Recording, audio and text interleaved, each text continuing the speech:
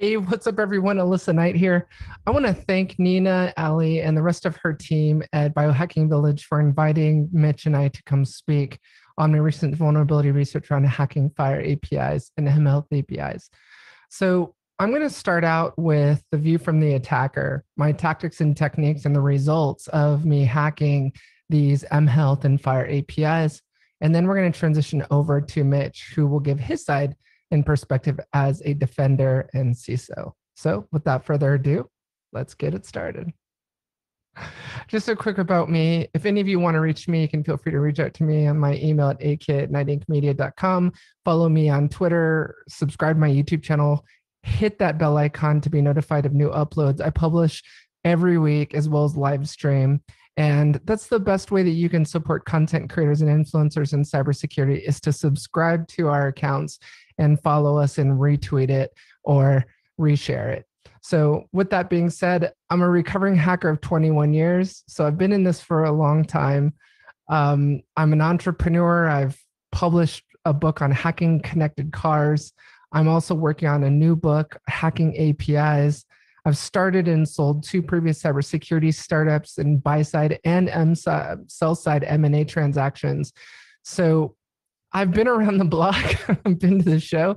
I actually started out with in the BBS scene in Seattle a long time ago, many moons ago, and I ran a multi-node BBS and uh, actually got started in hacking on IRC. So for any of you who's been around long enough to remember that, um, I also run an uh, venture capital fund, M&A Knight Capital, uh, M&A Knight Entertainment. So I'm in the process of actually writing a screenplay for a new TV series and also run Knight Ink., which is a content marketing company. I'm a cybersecurity filmmaker and content creator. So I work with cybersecurity vendors, brands, challenger brands to create what I like to call adversarial content, meaning that I create content from the views of the attacker and that is a new type of content that really shows content in the efficacy of a product and it being able to defend against the hacks that I'm running against it. So, if, for example, Approov, who's the sponsor of this research, I thought, well, instead of just writing, writing a boring white paper or doing a boring video on your features, what if I were to hack APIs and show how your product would have prevented it? And that's exactly what I did. And that was the impetus to my presentation to you today. Uh, my API hack. So I've kind of branded at this point as an API hacker. In 2019, I hacked 30 financial apps and APIs. 2020, I hacked M, uh, 30 mHealth apps and APIs. 2021, I hacked federal and state law enforcement vehicles. And um, uh, 2021, this year, I'm hacking FHIR APIs and also connected trains. So I'm very passionate about hacking embedded systems. Everything today, from the plumbing of our financial system now to our healthcare system with the FHIR deadlines, uh, are all communicating with APIs. So I'm really excited to talk about that today and give you a little bit of a brief background on FHIR. And Okay, so as I mentioned, Approov sponsored this research into hacking healthcare APIs. Um, so you can actually go and download the report from approov.io. And one thing that I do want to mention is, and I'll go into this in the final part of my presentation, but uh, uh the APIs that I hacked, many of them were behind WAFs. And I'm going to talk about the dangers of using the wrong tool for the job. Um, when you're not using an API threat management solution that's been purpose built from the ground up to secure APIs, uh, you're going to be under a false sense of security. So take a look at the research, hit the website, and download it today. Okay, so many of you will be hearing me refer to smart and FHIR or smart on FHIR and I want to really help you understand the difference between those uh, because they're actually not one and the same. Um, some people may even conflate the two terms, they're actually separate things. So, FHIR provides a set of models to standardize the representation of clinical concepts such as allergies and medications in an EHR or other clinical data store. Basically, what that means is FHIR creates the skeleton, if you will, for the EHR data. And what I'm going to go to in later slides, and I'll explain this later, but when you go to a hospital prior to FHIR And prior to these these APIs that just kind of allows these systems to talk to each other, you could go to two different hospitals and they'll be using different EHRs or EMR systems. Um, in this case, Cerner or Epic. And if you go to one hospital, they're going to have all of your data. And let's say you get sick the next day and you go to a different hospital and they're running a completely different EMR. Um, they will not be able to talk to that other system at that other hospital, creating concerns over life and safety. So it's it's a real problem. So I, I don't want you to think that oh Alissa is saying that FHIR is bad. Um, what I'm saying is is that this is very important that these systems are able to talk to each other, and I'm a huge fan. But I want to make sure that it's done securely because this is our PHI. This is our protected healthcare information, and it needs to be secured. Smart standardizes the process through a third-party application could so a third party application can plug into the data store and access that clinical information. It basically applies OAuth 2 and OpenID Connect. So what that means is Smart basically turns our healthcare system into an app based economy. So originally, when Smart first started out, it actually was very similar to FHIR and was in essence competing against what uh, FHIR was going to be. And so the the team basically took a step back and said, "Hey, you know what? Um, what they're doing over at HL7 or Health Level 7 International, and I'll talk about that in a minute. But what they're doing is is great, and and you know this competing against them doesn't make sense. So let's change the the mission for Smart, and let's make this about authentication with OAuth 2, OpenID Connect, and really giving third-party app developers the ability to make apps for these for FHIR APIs. Um, and so that was a large part of my attack surface, actually, were the third parties that came along making apps for FHIR APIs. Simply put, FHIR standardized data while Smart standardized and secures data access. So think about Smart as like the authentication and authorization on top of FHIR. Uh, you might be wondering, hey, Alissa, why Smart? Why didn't FHIR just do this? Well, an app developer can write an app once and expect that it will run anywhere in the healthcare system. That's the importance of this, right? So if I wanted to start an, a, a startup company and begin building FHIR apps, I know that anything that supports FHIR is going to be able to run that app. Any I can go to any hospital and sell my app to them. I can go to any healthcare provider and sell my app. Um, it's creating a new economy of companies, which is really interesting. Uh, it basically creates an app store for health. Uh, Smart on FHIR provides a health app interface based on open standards, including HL7's FHIR, OAuth2, and OpenID Connect. So that's FHIR. So let's actually get into the weeds now. This is a screenshot of the approved FHIR client that Skip built for me. Uh, I was greatly appreciative because I wasn't going to sit there and build a FHIR app. Um, so uh, basically you can see here, and if I expand this out, it actually will expand all the JSON uh, results from the API containing all of the information for this patient. So these are the testing phases in my research. So in 2020, I did static code analysis of these FHIR of these uh, mHealth apps. In 20, uh, I also did traffic analysis, basically using what I call woman in the middle attacks to intercept that traffic and look at it to understand how the API worked. Um, then I actually did fuzzing and then static code analysis in 2021. So now I'm basically have downloaded the um, apps from the Smart App Store, and there's actually a list, and uh, began doing static code analysis of those, looking for things like hard coded keys and tokens and all the other bad stuff, uh, including stuff about the backend API and how they work. Um, then uh, traffic analysis uh, was performed where I did network interdiction of the traffic in order to understand how the backend API worked and how what it expected in order to find things like broken object level authorization vulnerabilities, and then did fuzzing. I want to take a moment to talk about the importance of fuzzing APIs. Uh, I've been talking a lot about this lately, and uh, coming soon here, uh, you'll be seeing me talking a lot more about fuzzing APIs and the importance of that. So, having said that, um, what fuzzers will do is they'll, for example, like Kiterunner or RESTler, will allow you to import in Swagger file.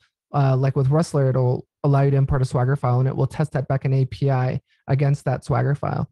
Um, with Kiterunner, for example, the developers have used like thousands of different Swagger files out there on the internet in order to build kind of like this content discovery system for APIs. if you don't fuzz APIs, I guarantee you, you will miss vulnerabilities. Fuzzing APIs is so important. It's not like you can run Nessus scan or uh, web any other web application scanner against a backend FHIR API or any API. Uh, the most effective tool that you can use against a target API is a fuzzer. Okay, so um, this was the actual different phases of my research. The four most common vulnerabilities that I found in my research, which you can read in the report, were broken object level authorization, broken user authentication, excessive data exposure, and mass assignment. Now, um, in this particular case, um, I'm going to explain what you're looking at in this drawing. So a patient goes to a hospital running Cerner, for example, um, and then uh, that individual patient goes to a second hospital uh, that's running Epic. Um, here in this case, in my um, diagram, I actually targeted both APIs uh, attempting to gain access to patient records that I shouldn't have had, access to. Um, several organizations over the last two years have come up and uh, told me that they wanted to support my work and get involved. And I'm very appreciative of them, including the EMR companies. So I want to say thanks to all of those companies that did get involved and help support this. There's definitely less of an adversarial relationship between vulnerability researchers and companies today than there was 20 years ago. So you guys are all, you guys and girls are all here for the actual results. So let's get into them. So here you can see the architecture of my attack. Uh, in this mobile app, uh, I, you can see that I've pulled, I've logged in as a clinician, and these are the patients that I was supposed to have access to. Um, doing network interdiction, I learned that this was the API request that was going to the API by just basically clicking every button in the mobile app, and then you would it would the API would return that patient record. But then I took those API requests and I loaded them into Postman, which is an amazing API client that I absolutely love. Postman, if you're listening, you guys do an amazing job and have made an amazing product. So thank you. Um, then I, I basically paste those into Postman and then change the requests from patient 1001, which is what I should have had access to, to one, two, three, four. And I had because of a BOLA vulnerability, had access to tens of thousands of patient records. And here on the right hand side, you can see the screenshots of Postman that allowed me to send those requests to the backend API and download those reports, pathology reports, x rays. All of these reports were available to me. And here you can see the hard coded keys and tokens that were found in those mobile apps. So um, definitely a lot of vulnerabilities were found. And what's neat about um, Postman, you'll see it here in the screenshot, is, and I didn't know it could do this, but when I started requesting endpoint documents, so actual PDF files from the API endpoint, of course I got the PDF that I was requesting back. Um, but Postman lets you save that to a file, which was really neat. So over here is the screenshot of the actual pathology report that I downloaded from the API endpoint. Ooh, pause for sound of that pin drop. Sorry, I have a real dry sense of humor. Um, hard-coded API keys and tokens was a real problem. I found 104 hard-coded keys and tokens in the mobile apps. Um, a lot of them were not only just keys and tokens to the APIs, API secrets to the APIs for the mobile app, but also to third parties like payment processors. Um, so a lot of um, hard-coded nastiness in those mobile apps that were able to be reversed once I loaded them into my tool called MobSF. Here, I was targeting a hospital and was able to download admission records for different patients that were admitted into the hospital. Um, here, I've redacted a lot of this, but you can see how much data is actually stored in these um, in these patient records. The interesting thing here was I was able to actually download a lot of patient pictures um, so this hospital was taking pictures of patients as they were storing, as they were processing them. Um, I think I, I strongly believe that this is why PHI is worth a thousand times more than a uh, credit card number on the dark web in a dark web marketplace is because of the fact that there's just so much data on an individual and a patient record. And not only that, but when I was going through this, I found that I was actually able to access data for their next of kin and other family information. So, you know, once this happens, that's the other thing is that if your PHI is compromised, it's not like anyone can send you new PHI. Um, like if your bank card is compromised, the bank can send you a new bank card. What happens if your PHI is compromised? no one can generate new PHI for you. Okay. Uh, this was a really interesting vulnerability. So what I found was that when you were in a lock session on an iPhone, whenever you unlocked it with your face, the mobile app would send the secret and that string of letters and numbers never changed. So like weeks would go by, I'd keep locking and locking my session and I looked at packets and it was the same key every time. So what I found was this was hard coded and like weeks later, if I pasted that same secret to unlock that session, it gave me the results of all the patient records. So, you know, why the developer did this, I don't know. Um, but it was a pretty big finding. I was pretty proud of it. This slide is for all of you who want to know how to actually properly secure these things. In my testing, the only API I wasn't able to breach was protected by Approov. I do want to say that. So um, I tested a, a, a number of APIs and then Approov worked with several of the organizations to um, stand up an installation and secure the API with Approov, and all of my attacks failed. Basically, the way it works is you have to compile your mobile app with your SDK.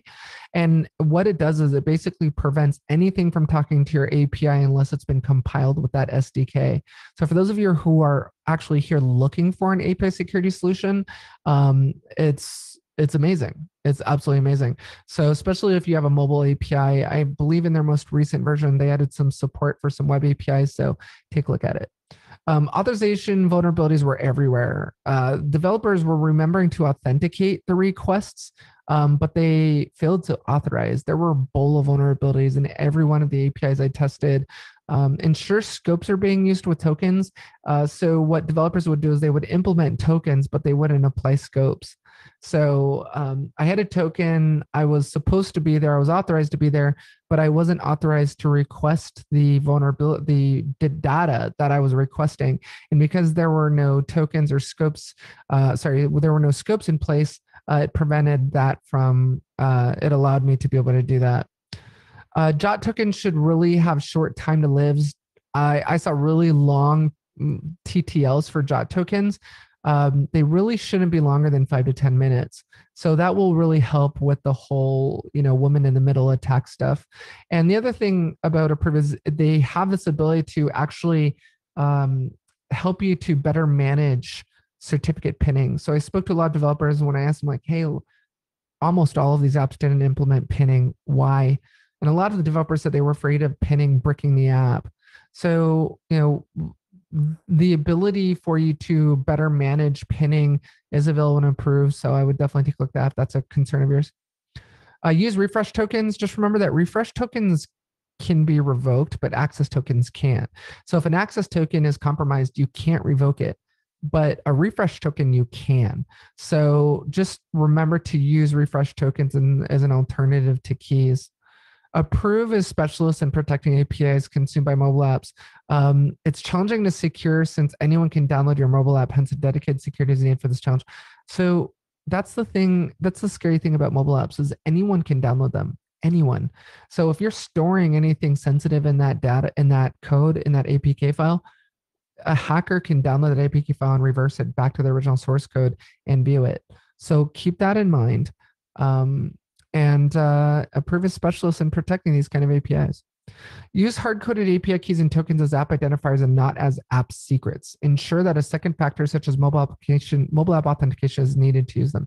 So, okay. I've had that whole religious debate with developers about if I'm not supposed to store these keys and tokens in the code, then where the hell am I supposed to store them? Um, you can store them and you can obfuscate the code. Okay, fine. But use multi-factor authentication. Don't just rely on just that token, just that key for authentication. Also authenticate the app. So make sure that your API security solution can authenticate the app as well. Remember that FHIR is a specification and doesn't mandate how it's secured vulnerabilities or per implementation. Okay, this is really important for me to make clear. So Nina and I can both implement a FHIR API, but my implementation of the FHIR standard can be completely different from hers and mine can be full of vulnerabilities whereas hers wasn't so you know just because I found vulnerabilities or issues in in these APIs, it doesn't mean that there's a vulnerability or problem in the FHIR standard. Okay, it's always going to be down to the implementation, and that's something for all of you to remember. So again, the research is available at approov.io, and again. I want to thank Nina, Alli, and the rest of our team for inviting me to speak here along with Mitch. And Mitch, over to you. So my part of the presentation, thank you again, Alissa, is how do we approach this from the provider side? So a big thing I always talk about is history. I always like to talk talk about and lead off with some examples from history. And one of the most apocal periods in history was late 18th century. And back then, a learned person only needed to know what was in a few books to know everything they needed to succeed in the world. The books about chemistry, physics, science, and business you could fit on a bookshelf. We are not in those days. We are in a significantly more complex environment. However, our social structures really haven't evolved that much since the late 18th century.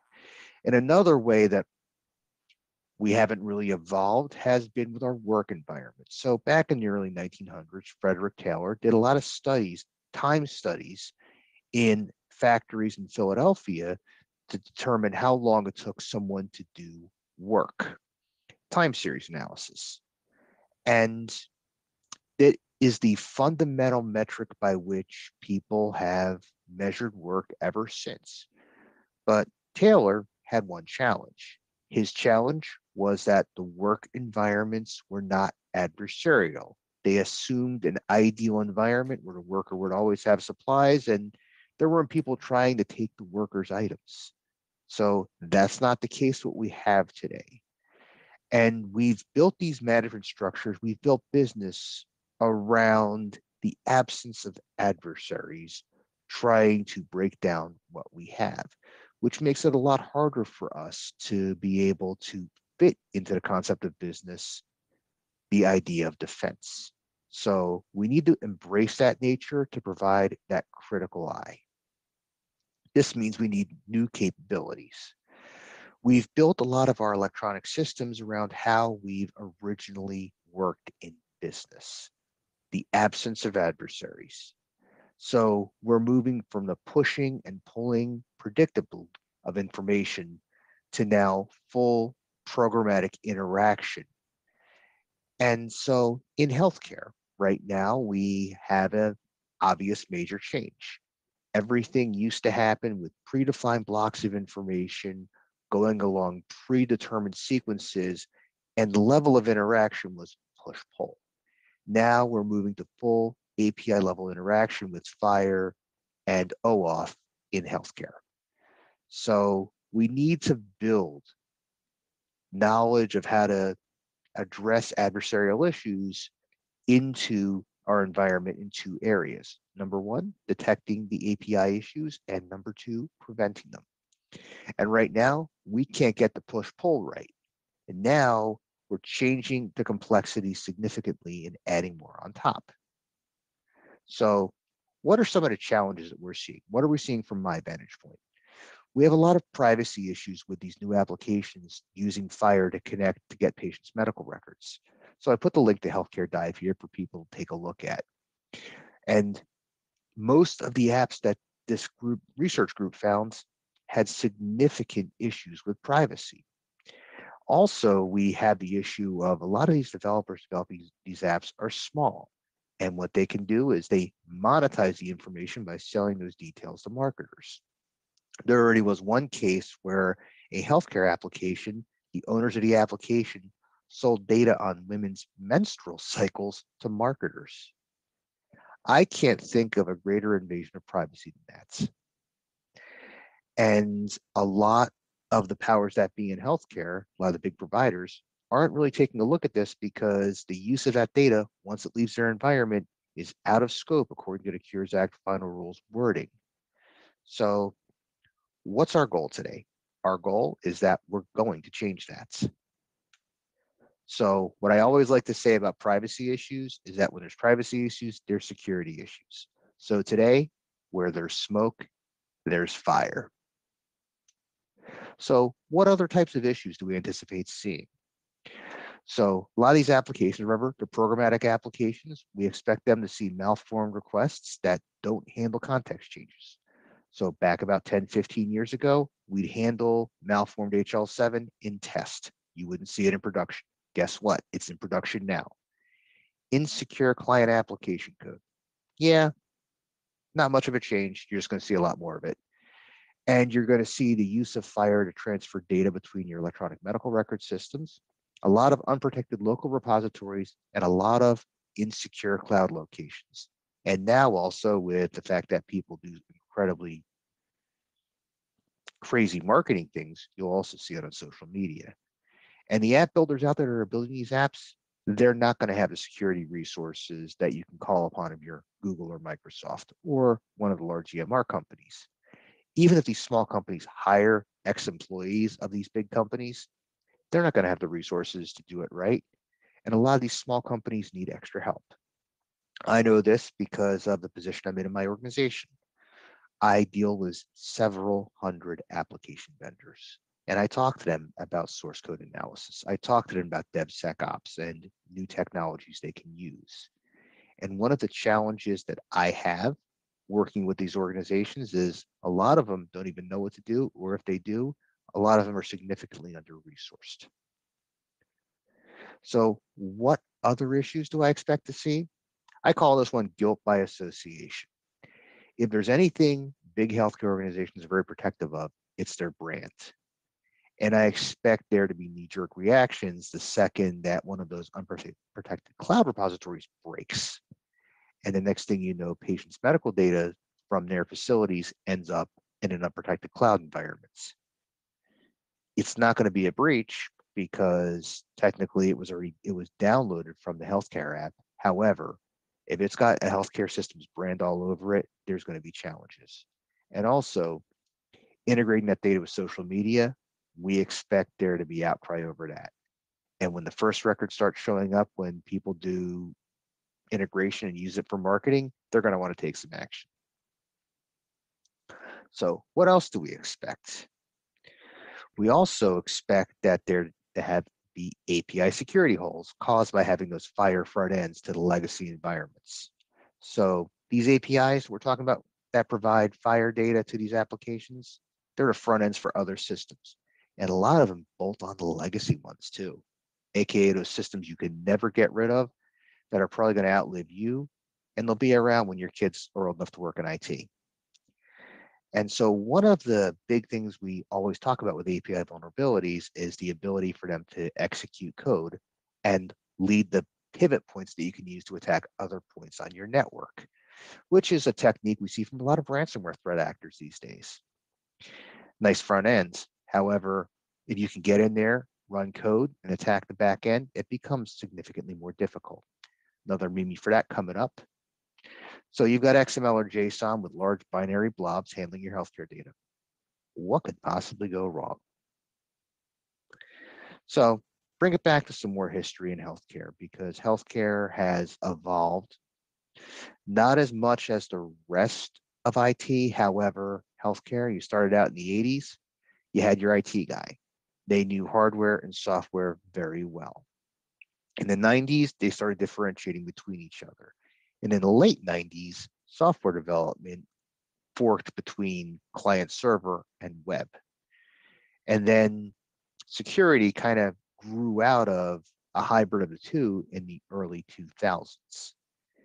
So now, these days, finally in the 2020s, we're starting to see that reconvergence of security and development yet again. And we consider this to be a good thing. However, Healthcare always lags a little bit behind, so we're going to try and make that ad advancement happen a little bit quicker there today. So how are we going to address the challenges of these FHIR APIs and the security issues that Alissa and I have been talking about? First of all, we've got to change how we operate with developers and help them understand it's not about the lines of code you complete, it's about how well you complete them against adversaries and to think in terms of adversarial attacks. we have to take a look at how we scan for vulnerabilities because healthcare has done it one way for years and now we have to do it another way. And we'll talk about that. And third party risk, the conventional way of giving your vendors a huge questionnaire to fill out really doesn't work to mitigate risk anymore. And trying to hand it off to a third party, AKA paying the people in nice suits that come up to you at big conferences and tell you how they can address your third party risk issues or relentlessly spam you in, in your inbox, that's not going to fix your problems here either. And we'll talk about that. So let's move on a little bit here. Big thing we need to really talk about here about security is blindly using those off the shelf solutions or the ones that claim they can fix most vulnerabilities before they even hit your servers they don't fix the root cause. I don't think they fix much of anything. And what happens when you use them is you put yourself in a situation where even though it says it protects you, it does so at the expense of your functionality. And it doesn't address where it breaks your stuff because it will. And guess what? When it breaks your stuff, guess whose fault it is? Not the vendors, it's yours. And also, these big WAFs, because of the fact that they are so expensive to license in a lot of cases, they don't address the connectivity between your internal systems. So you've got something where if you can get in and get binary code running on an API server, it's not that hard to go and break E8 like we used to do on the on the bars at school and go across the environment. You've got your way in. And finally, a web application firewall doesn't address the root cause, aka insecure code. So we have our challenges here we have to, and this is how we can start addressing them. So a lot of people are going to think, well, Mitch, all our vendors are HITRUST certified. Will HITRUST help us? No. I like the HITRUST people. However, their certification is not a Swiss Army knife. It's really great for controls testing and accounting type work. However, it doesn't help developers as much as we'd like, and it doesn't help the architectural issues. And also, it really doesn't help if you drop a HITRUST certified solution into a legacy environment where you've got systems running from when Reagan was president. Really, will not help you, won't help with Bush, Clinton, or Bush Jr. either. So that's the situation you're in. HITRUST is great. However, when it comes to integration, doesn't work the greatest for the environment that it's in. To get the full benefit, you have to be fully HITRUST certified as well. And there are very few healthcare delivery organizations that are that have actually done this. Even the large ones that I've spoken to have only certified part of their environment. So this means we need to change our service model. So a lot of your major EMR companies, when they offer up those APIs, they give sandboxes to test them in. Those sandboxes are great. However, they're not testing the entire app that's accessing the APIs. They're not testing the gateways to legacy systems. That app can be completely conformant and again, can be horribly insecure. We've proven that. A lot of code that's written for Apple and Google for those devices, code can be broken. We know this. And no questionnaire, no piece of software, they're not going to help you address the root causes of these issues. So you have to modify how you test, and we're going to talk about that. So another challenge we find is mutually assured security. So large design pattern that we've seen that's been supported by the major software development platforms has been the emergence of these distributed technologies. Now you have the extreme of people still doing things legacy way, all the way to full running on smart contracts and blockchain, and distributed technologies in healthcare, kind of lean towards more a small evolution from where we were legacy systems. And a big concern we see with that is you're only as secure as your weakest link, especially internally. And we have to be concerned because these apps that are now accessing our systems using FHIR contain our patient's protected health information. And even though the responsibility goes away as soon as that data gets downloaded, we still consider even the mere existence of those APIs in the first place to be a major risk for our organization. And again, it's one part of a distributed chain, which is how we look at it. So we have to really think about it in the context of it's one part of a chain, not some isolated little system whose scope drops off like the Mariana Trench. So what we have to take a look at here, and again, I'm going to talk more about third-party risk companies here. We don't go to companies that give us a score to make decisions about third-party risk. You actually have to do something about that. And I don't care if I piss these companies off today. Why? Because I'm at DEF CON. So what you have to do is you have to do some pretty serious purple team work to be able to ensure your APIs are secured and that you've done a good job making sure your environment in total is secure, not just your APIs. So what you do is you configure up some test systems to do the testing that are configured like your production environment on a similar network, which is much better than testing the APIs in the sandbox. Why? Because when you go live, all the fun stuff happens and you see a lot of errors you didn't think you'd ever see before. And if you just test against the sandbox, I can guarantee you 100% you're not going to know what to do. If I give you a sandbox to play with that's a test system and a similar network environment, when you see errors, the probability of you knowing what to do and being able to address the issues is significantly higher. And again, this is not something you pay the people in the nice suits to say nice words about. This is something you've got to do on your own because you are allowing programmatic access to your environments. This is not downloading PDFs like a patient portal. This is not downloading HTML like a patient portal. This is systems interfacing with yours that are not yours. And you have to be very, very careful here. So if you find issues, got to let your leadership know first. And here's the deal. And I'm going to say some things that are going to piss off some CIOs right now.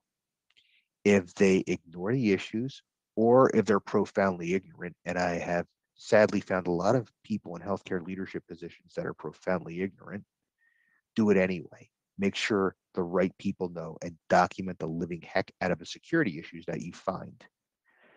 And I'm going to go on record saying this ignorant leadership is no reason to avoid security. What I've done in my career has been tell CIOs, you're not doing the right thing. This is what you need to do to mitigate risk to your patients. And if they tell me don't do it, a couple times I've had to do it. Perfect example, when I rolled that, helped roll out Windows 7 at my last job many, many years ago, I had the CIO tell me to stop work on it. I told him no, what because I had people telling me I'm buying laptops now that don't run Windows XP. They only run Windows 7. So I need to have Windows 7 or we can't get people taking care of patients laptops. So we made the best choice for the patient and eventually the CIO came around to it. But the way I look at it is ignorance is no reason to stop security work. And if you are dealing with leadership that is being ignorant, do your best to protect them from their own best interests and keep the interest of your organization and patients in mind. Thankfully, my organization, I have a really good boss in Tim Tarnowski, and I don't have to do this with him. Also, we take a look at patient advocates. Patient advocates are an underutilized resource in healthcare. They've helped many people deal with complex issues and concerns at the worst times in their lives. So I know a couple of them. They deal with people that have breast cancer or more advanced forms of cancer. That is the absolute worst time in your life when you have advanced cancer. You need all the help you can get. These are people that are susceptible, these patients are susceptible to scams. They're susceptible to all sorts of things of people with bad intentions trying to drain their wallet. Patient advocates deal with adversity and adversarial behavior better than your average healthcare organization does. So here's the deal. I, as a representative of a healthcare organization, cannot stop a patient from downloading some of these applications that purport to help them with healthcare data using FHIR that may have privacy and security issues without potential information blocking penalties and complaints to the federal government. Patient advocates do not have the same restrictions that I have. They're not providers. They're neutral. They can advise, they can warn. And this is a new area. And realistically, when you're dealing with a sickness like cancer or COVID, you're not in the best place to make a judgment call. You're thinking about other things, much such as how long am I going to live? Or what's the quality of my life going to be? And we need to make sure that these patients get good guidance at the right time in their life when they're at their most sensitive. And one of my greatest concerns with these applications is that people are going to let the marketing buzzwords take over instead of using something that works. So we historically haven't engaged patient advocates the way we need to. And I think now they have the potential for really helping us out, especially with these threats to patient data. They, and again, I look at it this way, they're used to dealing with the adversarial environment that can be healthcare. I think they have some skills that can transfer over to help patients out in making the right decisions with the apps that they use. So I look at it this way, keep them informed of everything you find in privacy and security issues. There's nothing preventing us from doing that. So what can we do besides informing patient advocates of all the fun things that we find? First of all, we do our vulnerability scans. We start with the outside, the inside, all the vendor connections, all the VPN and RDP that no one thinks that the IT organization knows about, and also do a scan of your software, so many people have installed your Kaseya agents or others. And also take a look at your container environments and all the work that they said they did to secure your containers, because I can tell you they didn't do that work. I have found one of the biggest new challenges in healthcare has been with people putting software in Docker or Kubernetes and saying it's secure. And the only difference between that and insecure software in a Linux box is that it's in a container. So what can we do next? Let's take a look at what these FHIR APIs are going to connect to ultimately. And take a look and do a data flow analysis. So patient connects with an app, sends a FHIR API call. What systems is it going to connect to? What dependent systems along the path is it going to hit? And it's going to light up like a Christmas tree. Because what you had before was, oh, it's only going to connect to this one system. What you're going to realize is about 20 systems in the path, and you have to understand what they all are. And one of the big challenges we found in healthcare was that a lot of people like to reduce scope to minimize risk. So they look better on the risk assessment for they handed in senior leadership. I can tell you there is no greater way to look like a failure than to do that. This is not a time for reducing scope, especially with the existential threats that we're facing to our businesses. You have to take a look at security along that entire path.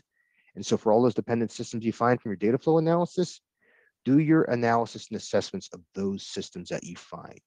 Don't descope, because here's what's funny. I first started doing risk assessments 12 years ago. It seems like every system that I was told to scope by leadership mysteriously ended up back in scope later because of some other reason for risk. So descoping leads to rescoping anyway, so don't descope.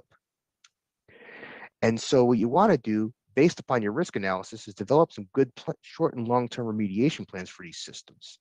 So big one here, patch, firewall, segment, change those default passwords, turn off your unnecessary services. If you've got privileged account management like CyberArk, use it and develop good operational plans, take good backups and store them somewhere else. And for your long term, yes, security is now thinking the long term, get current, develop your plan to update and upgrade every so often, and keep a good budget for running the system well. And with IT, we haven't seen a lot of good long-term thought. We're really trying to change that here. But again, That's your short and long term. That's to basically maintain the system. Now we get to the fun part, which is API testing. So you've got to develop plans to do full API testing. We recommend using that purple team approach. Again, thanks, Bryson. This approach works incredibly well because it helps you work with your blue team to go in there, try and break these APIs, try and understand how these systems work, and really try and programmatically look at them from an adversarial point of view. And if you can't do it yourself, there's a lot of great companies out there, some of whom we're watching today, who will help you do so. And they'll help you develop that testing plan and help you test. But when you're done testing, you've actually got to follow up and keep up. So you discover some high and critical issues, you got to address those immediately. You got to log them, ticket them, and track the resolution. If you've got third-party vendors, you're going to be following up. Treat your third-party vendors like you would your internal systems.